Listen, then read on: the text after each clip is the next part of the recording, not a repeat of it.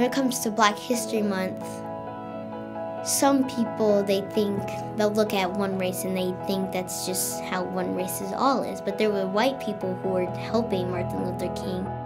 Some people were just still like they didn't want to help. They were like, we're better than you guys. Now that I'm older, I understand that being black is just awesome.